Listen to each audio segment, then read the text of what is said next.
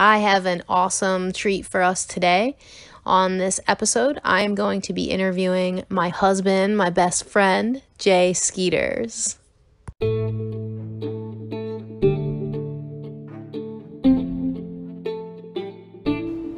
I'm Rose Skeeters, host of From Borderline to Beautiful, a show about hope and recovery for BPD. All right, let's just jump right in.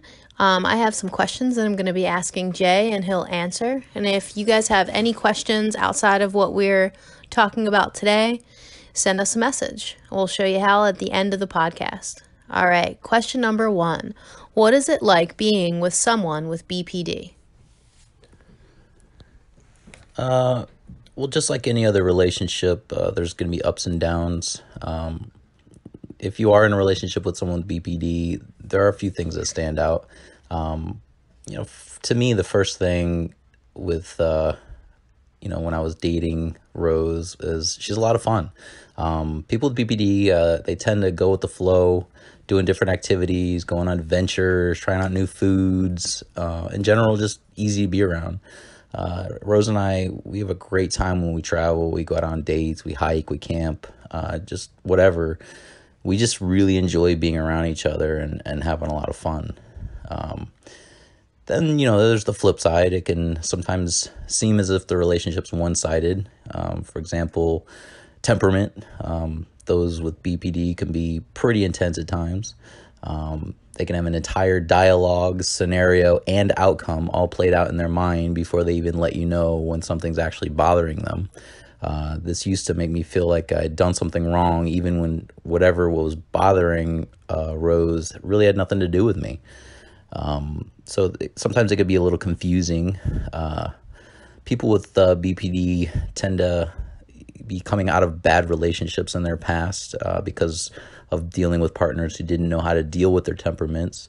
Um, so when they find somebody who's willing to deal with the temperament, they latch on. So it's up to me uh, to know how to handle that, and it's up to to me. It's up to the partners to know how to handle uh, the temperament.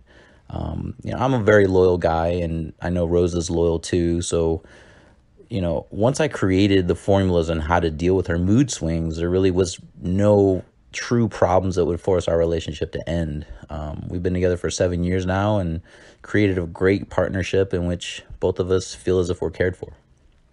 Awesome. Thank you.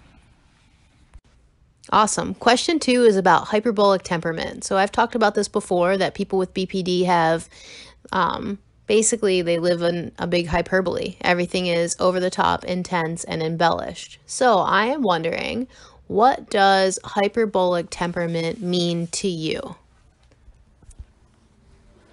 Well, to me, hyperbolic temperament uh, means that you've already created a perception about a certain subject or a thing, whether making it really, really big or minimizing it um, to try to make uh, reality fit in your perception, which of course is impossible.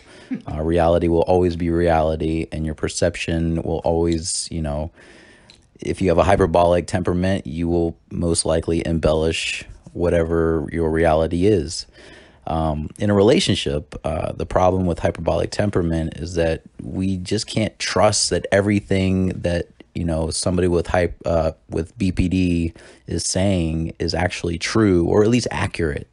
Um, so how I combat that is whenever there's something that I'm getting the vibe that there's a hyperbole being made. Um, you know, and you and I have come up come to a point in which we just kind of laugh about this. Um, I will walk you through your statement and ask you if it's really what you meant to say. You know, for example, there have been times in which you know you've yelled out, you know, it's 20 freaking degrees in here and you won't let me turn the stir- ter- uh, thermostat up. And, you know, to me, I'm like, okay, really? Is it really 20 degrees in here? You know, let's go take a look. You know, of course it's hyperbole, but um, somebody with BPD or just a hyperbolic temperament in general, um, they need to learn how to tell the truth. You know, they need to be accountable for the things that they actually say. Um, it can be kind of annoying, but when you've developed a relationship over the course of years or just develop that trust, um, it doesn't necessarily have to be so intense. Um, you know, so that example, she was cold. Um, but, you know, she also would tend to sit around in a t shirt and shorts. Um, so, you know, as the, on the partner side, hyperbolic temperament, it just needs patience and redirection. Um, when you can make your partner understand that they're speaking hyperboles in a very obvious and blatant way, they'll begin to catch themselves. So now, you know, she, whenever she knows that she's kind of embellishing a story or minimizing a story, um, she actually stops herself and is like, oh, okay, maybe I'm, maybe I'm adding a little bit too much to it. Um, because then it allows me to track what she's saying accurately and I can actually help her or you know, just listen to her vent in a way that she's, you know, telling the truth as it really is.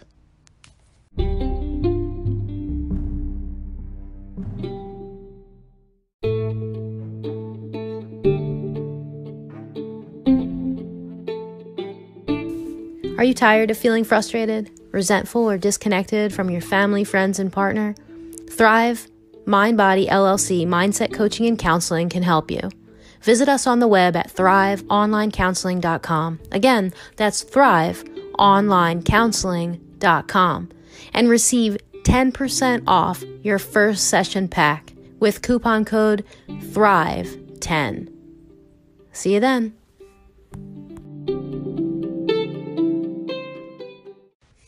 All right.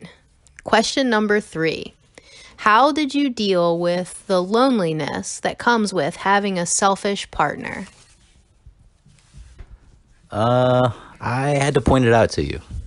Um, I had to make you aware that I didn't have any emotional space in the relationship. Um, there would be times in which, again, um, I'd have to walk you through whatever scenario that had me feeling lonely like that so that I could make you see my point of view. Uh, so, whatever the scenario was, I would have to explain the scenario by letting you know that I understand exactly how you are feeling, but then start all the way back at the beginning of the scenario all over again and show you my side of it uh, so that you could get a grasp on my point of view of of the subject. Um, it's it's difficult at times um, because you want to get angry and you want to, you know, just let them have it, but it's not productive and it doesn't allow your partner to have an understanding of your perspective and your side of of that feeling of loneliness um, because if they didn't know at the beginning, they certainly aren't going to know if you're just um, combating them with anger or frustration. Um, so, again, it's grabbing their hand and walking them through step by step through the scenario so that way everybody can see just how blatantly obvious that you know both sides of the scenario contributed and both sides of the scenario have you know space for emotion and, and feelings. Awesome. So it's like you walked me through the process of developing empathy, of figuring out what your point of view was, right? Exactly. All right, so let's jump to the last question of today's episode. What advice can you give to partners, family, and friends of people with BPD when they experience affective lability? So that's when our emotions become intense and unstable. Should those people that love us avoid quote unquote triggers? Well, to answer the first question, uh, what advice can you give to partners, families, and friends of people with BPD? Um, is always tell the truth. Uh, you cannot allow someone you care about to live incongruent to the life that they want. Um, people with BPD want things too. You know, they want a certain lifestyle just like anybody else, um, but their behaviors and actions may be incongruent, and they just need to be pointed out. Um, and just like I used to tell you, uh, you know, you can be mad at me all you want, um, but I just need you to hear the truth once. Yeah. Whatever you want to do with that information, that's on you. But if you're gonna be dealing with me, you know, it's my responsibility to, to make sure that you understand the truth, or at least you have the truth, whether you want to understand it or not. Um, the second part of that question, avoiding triggers, no way. Um, the more triggers you avoid, the more ammo people ammo people with BPD have. Um, triggers they have to be met met head on. Uh, there will be conflict at first, um, but if you want the relationship to survive, uh, you have to stand up for yourself. Uh, communicate with them that there is a different way to look at whatever it is that's triggering them. Uh, they just don't see it.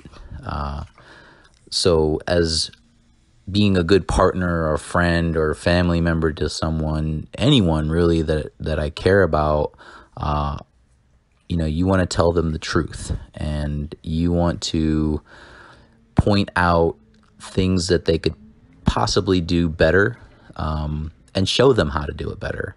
Uh, you know, coach them um, because like I said, if you want the relationship to survive, you have to do these things, or you're just going to run out of energy. You're going to run out of tolerance.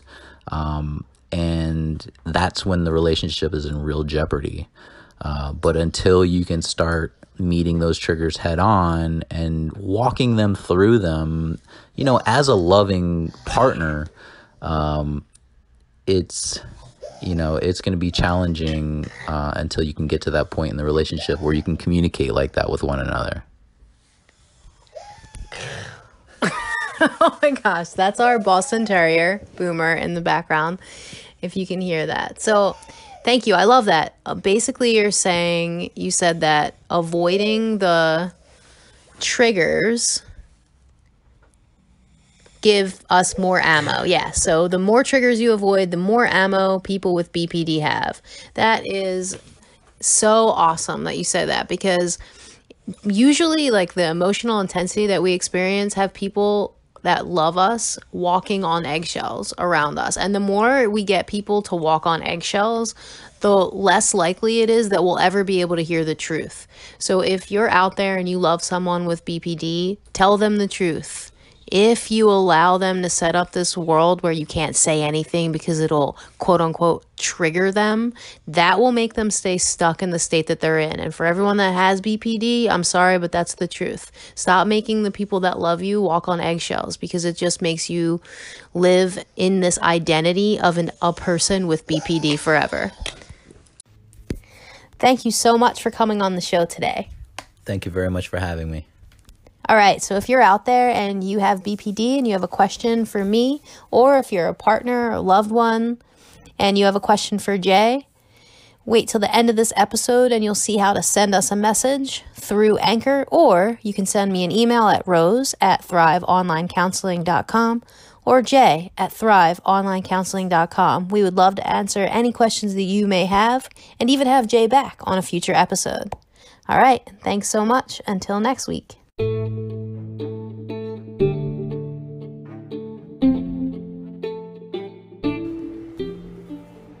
Okay, thanks for listening. That was from Borderline and Beautiful, a production of Thrive Mind Body LLC, online coaching that helps frustrated individuals, resentful couples, and disconnected families navigate through tough times.